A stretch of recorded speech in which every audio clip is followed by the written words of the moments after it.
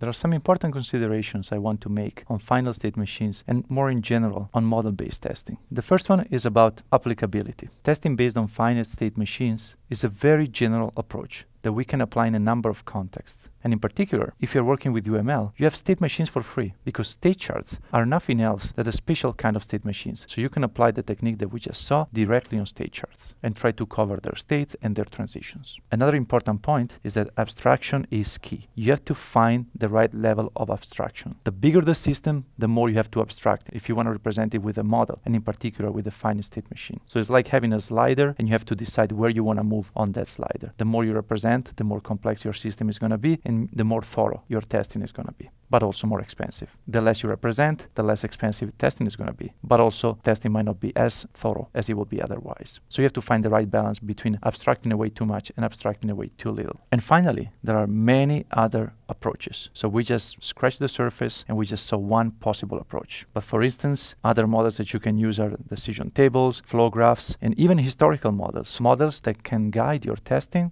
based on problems that occurred in your system in the past. And also in this case, I'm going to put pointers to additional materials in the class notes.